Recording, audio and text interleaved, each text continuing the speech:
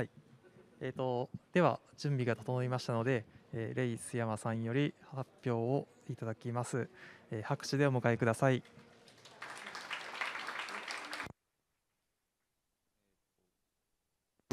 マイク聞こえてますでしょうか？ありがとうございますそれでは紹介プリントハローワールドというタイトルで発表していきますえっと時間は通常通り30分やらせていただきますえっとまず最初にこのスライドは公開していますで文字が小さい部分もあるのでできればお手元でご確認いただけるといいかなと思います少しだけ QR コードを表示しておきます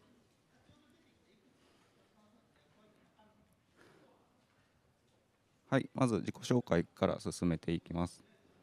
えっと、名前は須山レイと言います。Twitter や GitHub は R ほぼろでやっています。株式会社レブコムでバックエンドエンジニアをしています。今は瀬戸内海に浮かぶこの向島というところに住んでいます。過去にこういった本を執筆させていただきました。少し会社の宣伝をさせてください。私がいるレブコムというところでは、ビジネス向けスマート電話ミーテルを SARS として提供しています。フルリモートフルフレックスで全国に180人を超えるメンバーがいます。バックエンドはほぼ Python で使っていて、数十人が日常的にコミットしている大きめの Django アプリケーションや複数の FastAPI のアプリケーションが動いています。もし興味があったらこちらから応募してみてください。それでは本題に入っていきます。えっと、このセッションの概要です。レベルは intermediate にしています。具体的にはフレームワークやライブラリを利用したアプリケーション開発には慣れているが、フレームワークやライブラリが使えない環境では開発に自信がないエンジニアを想像しています。というか、これは過去の自分です。で話すことですが、Python をはじめとするプログラミング言語が行っていること、プログラムを実行するためにシステムが行っていること、これらはアプリケーションレイヤーより少し下のレイヤーの話になります。話さないことは個別の処理の詳細です。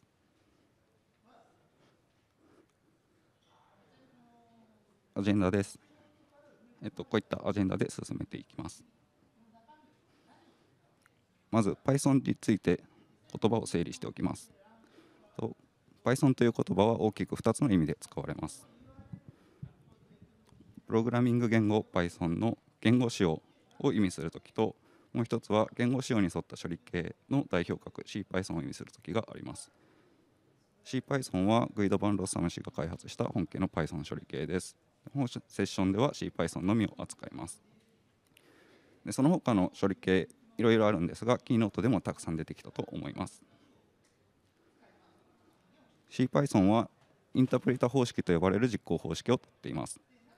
インタープリタ方式はソースコードを1行ずつ逐次実行しながら動かす実行方式です。でこの逐次解釈して実行するプログラムをインタープリタと呼びます。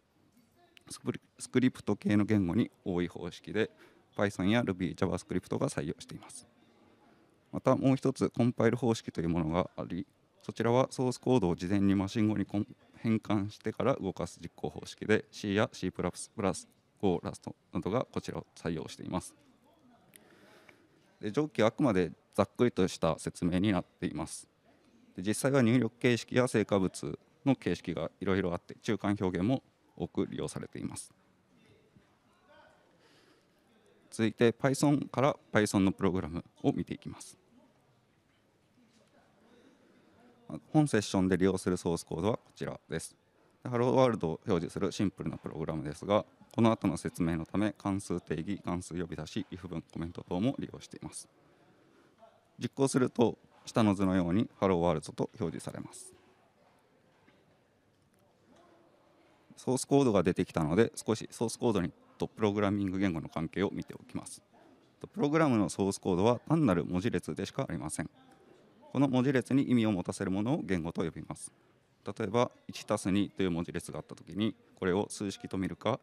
日本語と見るか Python のコードと見るかそれとも JavaScript のコードと見るか言語によって文字列の解釈は異なってきます。言語の中で特にコンピューターに解釈してもらうものがプログラミング言語です。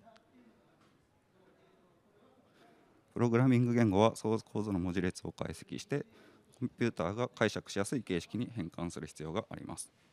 この変換工程はパースと呼ばれこれを行うものをパーサと呼びます。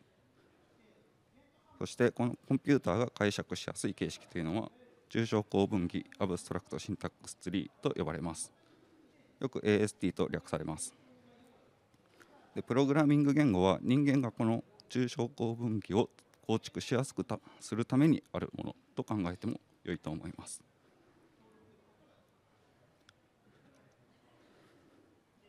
続いて Python の話に戻っていきます。Python のパーサーは Python3.9 以前以降で異なっています。Python3.9 からは PEG パーサーと呼ばれるものが採用されていてそれ以前は LL1 パーサーが採用されていました。ただ LL1 パーサーは Python3.10 で削除済みです。本セッションでは Python3.11 を扱います。Python がプログラムを実行するときの主なフローは下の図のようになっています。まずソースコードの文字列を軸解析してトークン列を得ます。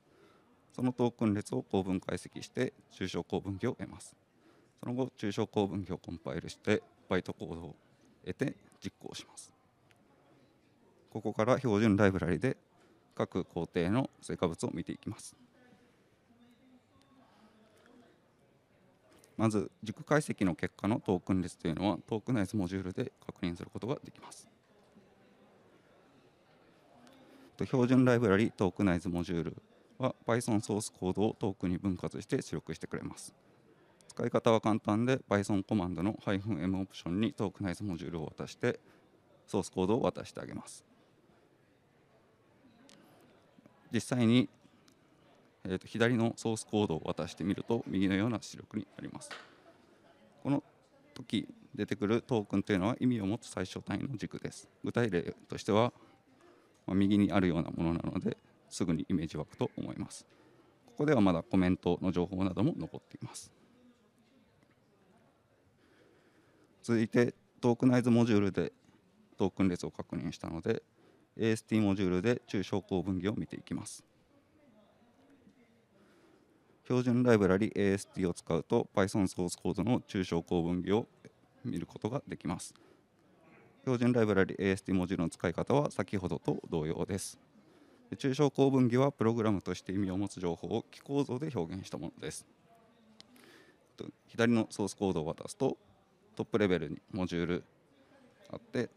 その下にファンクション、まあ、関数定義と if 文があるのが分かると思います。関数定義の中に式が1つあります。でこの時プログラムとして意味を持たない情報は消えてしまうのでコメントの情報は消えています。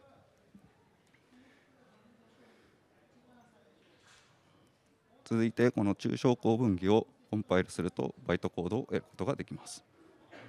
バイトコードは this モジュールで確認することができます。標準ライブラリ this モジュールを使うと Python バイトコードの逆アセンブル結果を確認できます。Python バイトコードは PythonVM が解釈するマシン語です。一覧は公式ドキュメントの Python バイトコード命令にあります。実際に左のソースコードを出すと渡すと右のような出力になります。この make function があるブロックで関数作ってそこにハローという名前を付けています。真ん中のブロックでは if 文の実行している命令などがあり一番下のブロックではハローの呼び出しなどが行われています。続いてこの得たここまでで得たバイトコードを実行します。実行は PythonVM が行っています。PythonVM は Python バイトコードを逐次実行する仮想マシンです。本体は Python cval.c に記述された巨大なループです。記憶領域にスタック構造を使うためスタ使うスタックマシンと呼ばれる計算モデルを採用しています。こちらがその cval ループの一部なんですが、このディスパッチオペコードというラベルがの後にスイッチ文があります。ここでバイトコードごとに処理を分岐していてまた処理が終わったらここに戻ってくるというループになっています。で PythonVM は仮想マシンなんですが実際のコンピュータでは CPU がメモリ上のマシンを逐次実行しています。続いてここまで見てきたものを今度は C や OS の世界から見ていきますそのためにまず CPython のビルドとデバッグの環境を整えていきます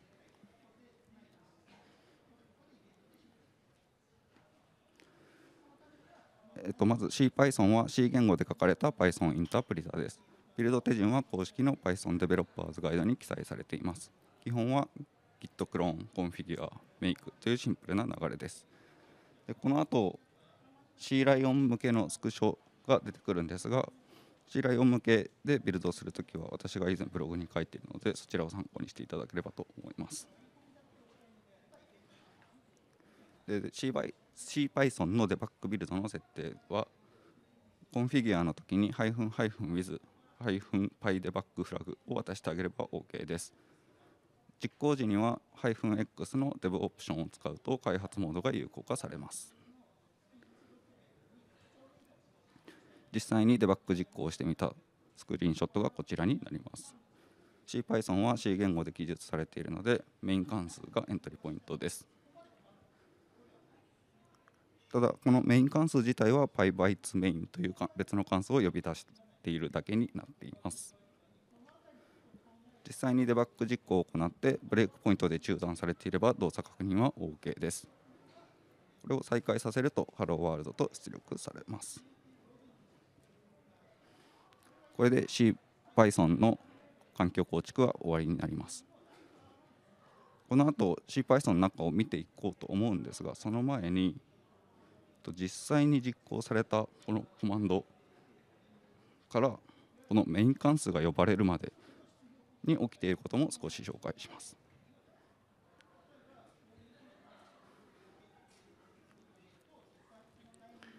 えっと、Python はどのように起動したのでしょうか、えっと、ここまで何度も Python3 コマンドで Python を実行してきましたがコマンドはシェルプログラムが解釈し実行しています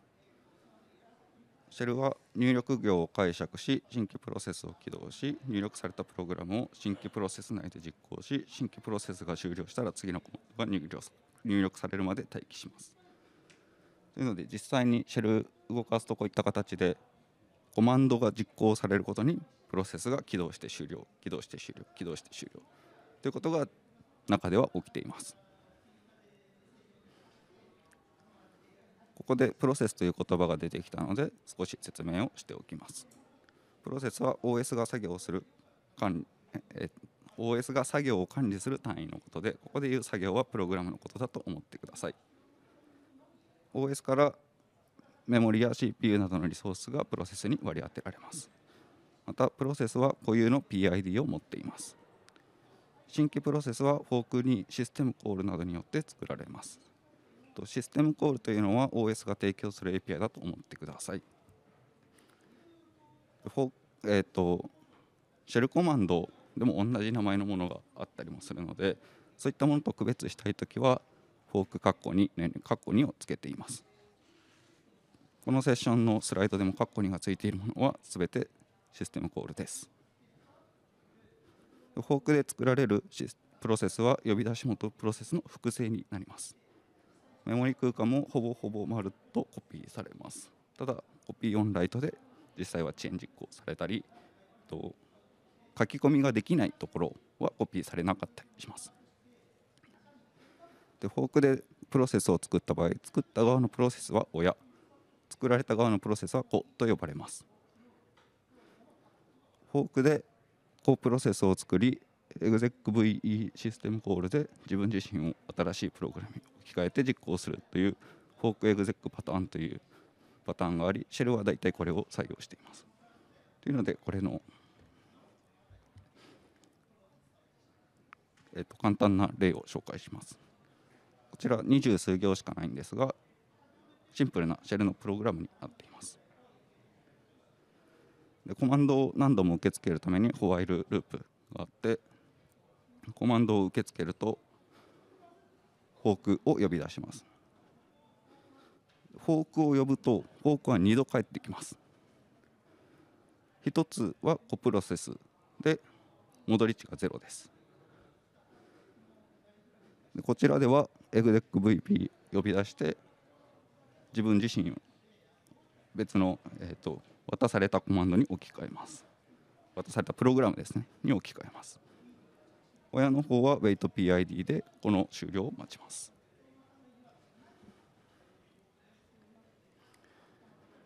と実際にやってみますね。こちらがそのプログラムになります。先ほどと同じものです。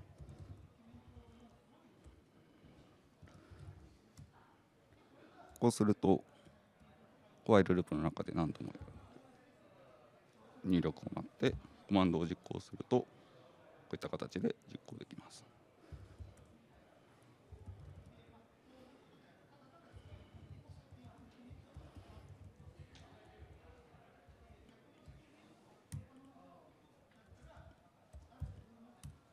はい。シンプルなこのシェルでしたがあ結構動いているのが分かると思います。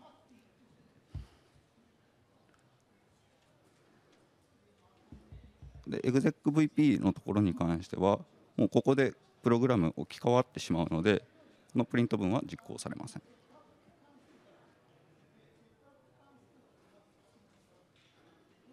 はい。でえっ、と実際にシェルでシェルの動きを見ていただいたんですがストレスコマンドを使うとシステムコールを呼び出されたシステムコールを確認できます。で実際ハローワールドを実行するときの出力結果がこちらになります。でフォークはちょっと見えないんですがその後の execVE から始まっているところが確認できます。とで後半のところではライトシステムコールを使ってコンソールに出力しています。この出力結果に関しては OS や使っているマシンによって異なるので注意してください。でエグゼックシステムコールに渡されていたのは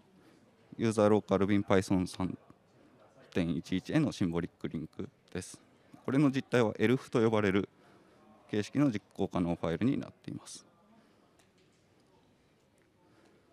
で ELF 形式の実行ファイルですがこれは Linux 等でサポートされている実行可能ファイルのフォーマットです。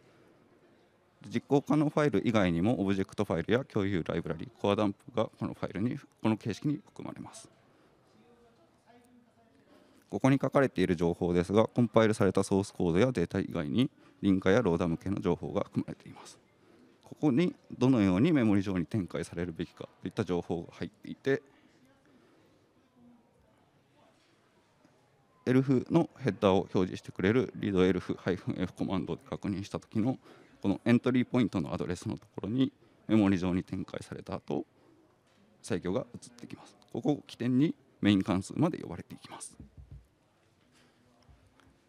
はい。それではメイン関数が呼ばれるところまで見てきたので CPython に戻ってきます。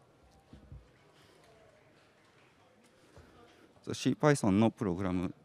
実行の概要ですがエントリーポイントはメイン関数です。抽象項分岐の生成は文法ファイルから自動生成されたパーサーが行います。これは文法ファイルに抽象項分岐を生成するための情報が付与されているからです。で PEG ではこのように軸解析と構文解析を同時に行うことができます。つまりここが一つの関数として実行することができます。CPython ではアンダースコア PyParser アンダースコア AST from ファイルなどが実装されています。えっと、ソースコードをパイスして抽象項分岐を生成するところを見ていきます。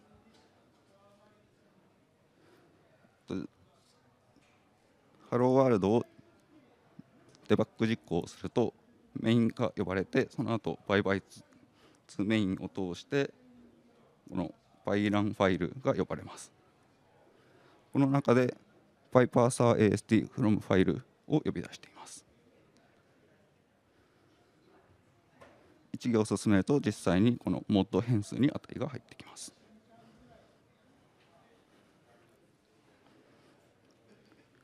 実際にモッド変数の値を確認してみましょう。えっと、左が先ほど見た ASD モジュールで出力したものになっています。トップレベルにモジュールがあってそのボディの中にファンクションと if があることが確認できます。C の方の変数を見るとまずここにモジュールカインドというものがあります。またその中にボディというものがあってその中にファンクションデフカインドがあるようなことが確認できます。このように第一でちゃんと対応していることが確認できます。続いてここで得た AST をコンパイルしてバイトコードを得ますがこの時はアンダースコア PyAST コンパイルを呼び出しています。先ほどの pyrun ファイルで mod 変数に AST が入っていますが直後で LANMOD に渡しています。LANMOD の中では PyAST compile を呼び出してそこに抽象構文木を渡しコードオブジェクトを得ています。コードオブジェクトが入っている変数 CO の内容をメモリで確認してみます。このアドレスがこの緑の部分ですね。で最後の方を見ていくと970064というのがここにあります。ここが実際のバイトコードの値になっています。Python のバイトコードはえっと、1つの命令あたり2バイトになっています。なのでこの9700が1つの命令。6400が1つの命令です。えっとここでこの97えっとリトルエンディアンといってこの9700は0097と読み替えてください。でここのバイトコード一覧を見ていくんですがこの includes コード .ch というところにこういった形でバイトコードの実際の値が入っています。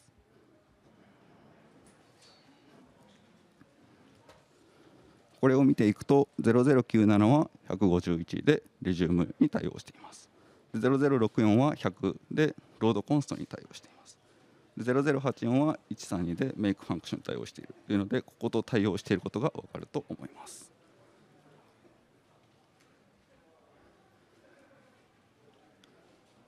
はい、でバイトコードを得たので最後は実行です。実行はコードオブジェクトが run イバルコードオブジェ関数を通じて C イバルループまで渡されていきます。さっきの変数項がこの run イバルコードオブジェに渡されています。その中で最終的には by イバルイバルフレームデフォルト関数が呼ばれます。で C イベントループ C イバルループはここにあります。ここでバイトコードの実行がぐるぐるぐるぐる走っていくことになります最終的に実行を進める中でプリント文にぶつかるプリント関数にぶつかるんですがプリント関数の実態はビルトインプリントインプルにあります。その中でライトにシステムコールで書き出しています、えー、実際にここにプリントビルトインプリントインプルというものがあってその中で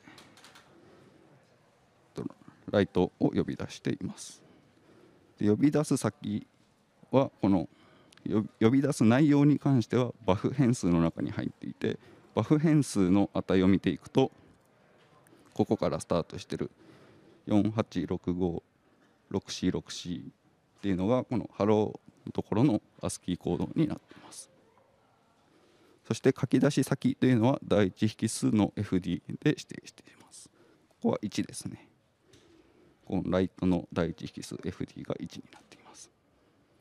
この FD1 のところなんですがファイルディスクリプリファイルディスクリプタと呼ばれるものです。Unix では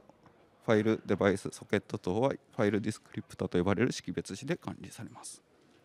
このようにしているのはこの抽象化によってリード、ライト、クローズなどで同じように操作するためです。ファイルディスクリプタの実態先ほど1だったんですが整数で下記は、えーと、ここにあるものはプロセス起動時に OS により自動でセットされます。0は標準入力で基本的にはキーボード。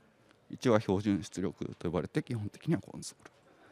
2は標準エラー出力と呼ばれて基本的にはコンソールになっています。先ほどのライトシステムコールでは第一引数 FD で書き出し先を指定していました。で FD1 だったのでコンソールに出力されています。はいまとめです。Python プログラム実行時の動きを見ていきました。ソースコードは構文解析されて抽象構文器になります。抽象構文器はコンパイルされてバイトコードになります。バイトコードは巨大なループで逐次処理されていきます。Python であれば抽象構文器やバイトコードは標準ライブラリを使うと簡単に確認できます。またそこで確認したものが CPython 上で抽象構文器やバイトコードがどのように表現されているかを確認しました。またプロセスの起動とプログラムの実行に関してはプログラムはシステムコールを通じて OS の機能を利用していることを紹介しました。フォークと execv を使うフォークエグゼックパターンを紹介してこれを使うとシェルプログラムを作れることも紹介しました、はい。えっと、参考にした書籍やサイトはこちらになります、ご清聴ありがとうございました。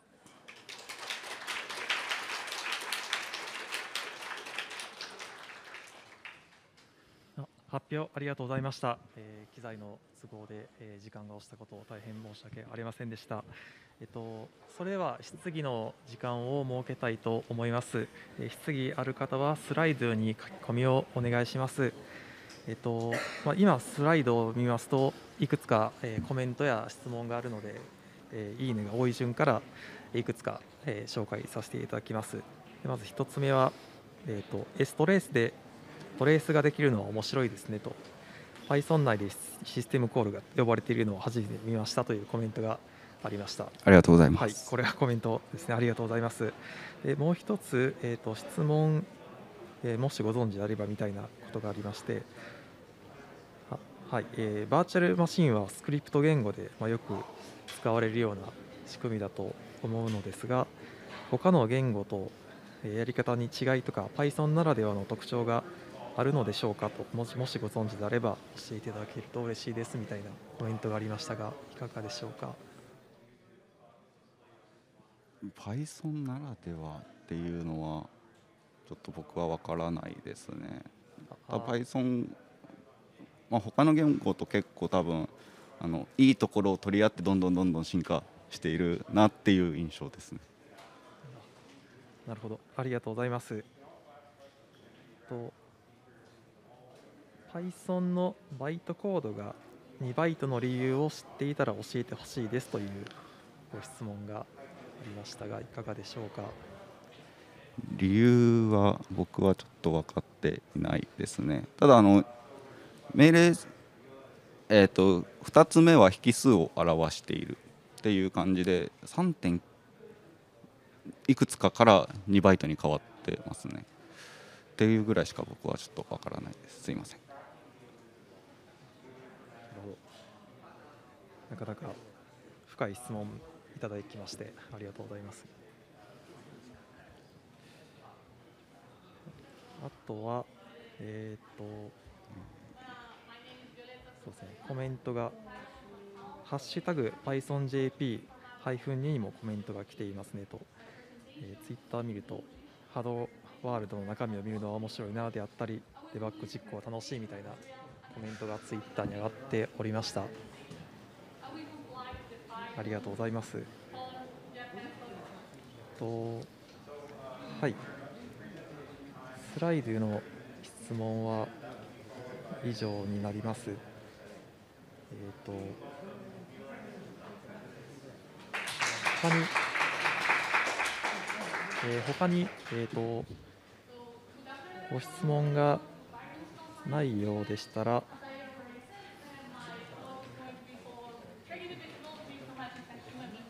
えーと、発表を終わりたいと思いますがいかがでしょうか？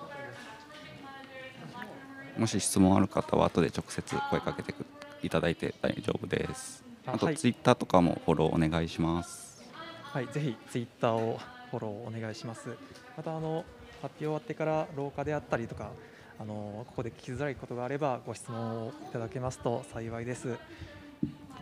ではえー、終わりたいと思います、えー、ありがとうございました。ありがとうございました